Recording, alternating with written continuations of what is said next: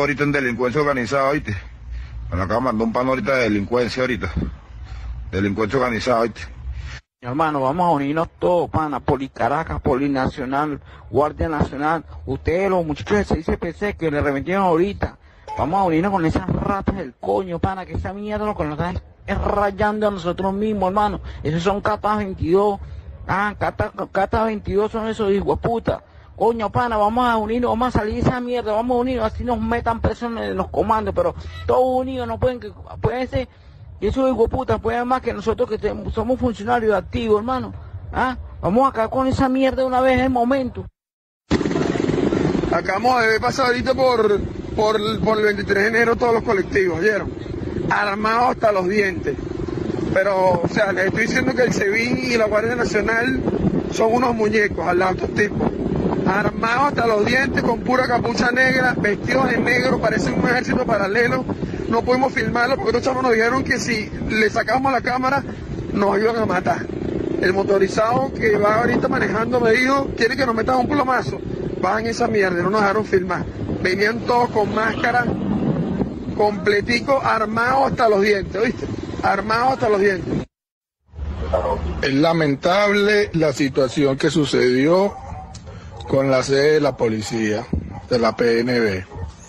Pero eso se veía venir, ya que muchos funcionarios y funcionarios están delinquiendo con colectivos, se hacen pasar por colectivos para cometer delitos. No es mentira o no es menos falso que muchos colectivos que actúan en las Fuerzas Armadas son funcionarios de la extinta Policía Metropolitana han estado dando el entrenamiento un poco delincuente para atacar a sus propios compañeros. Tengo ya más de cuatro años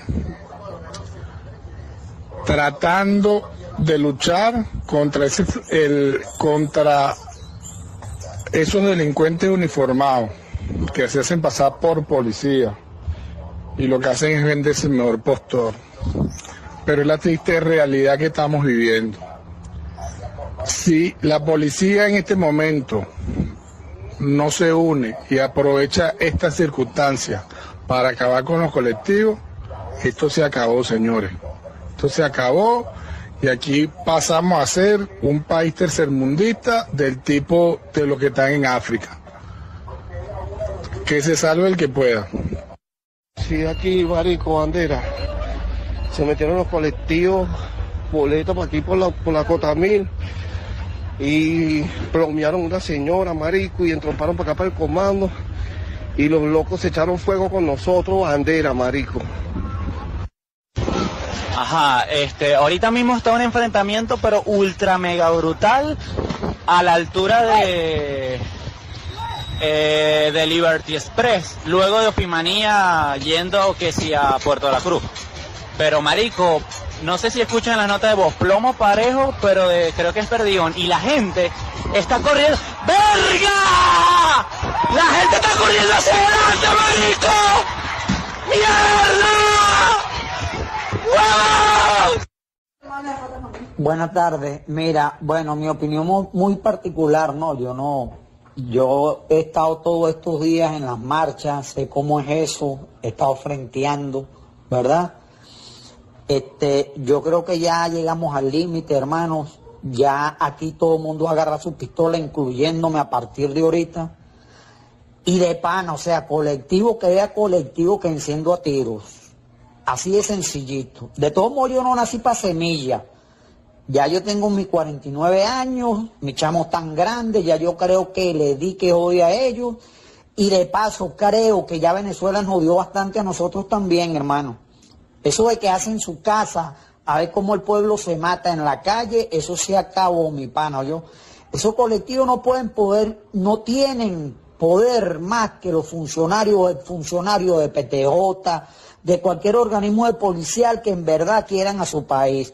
Aquí cada uno de nosotros puede conseguir un R15, una pistola, un FAL, lo que sea, organizarnos y ve qué es lo que está pasando, porque no nos podemos calar ese huevo de que sigan matando a la gente los colectivos.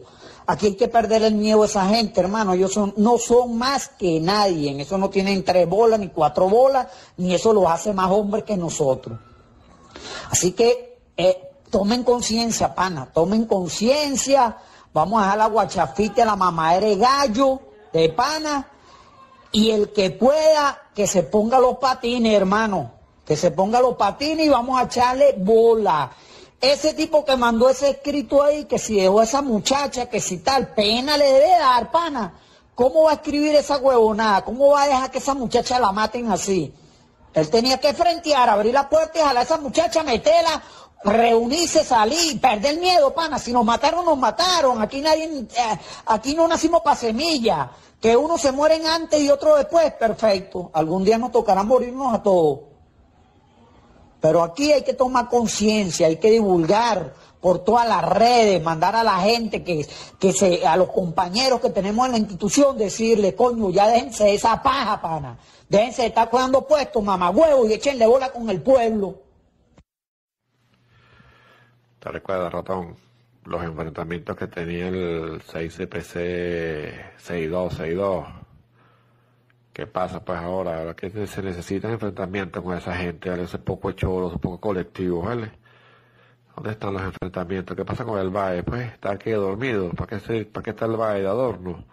Pasa muchachos, 6CPC, ¿qué pasó pues? Enfrenten esa mierda, enfrenten esas, esas lacras de colectivo, ¿vale? No pueden dejar matar al pueblo así, ¿vale?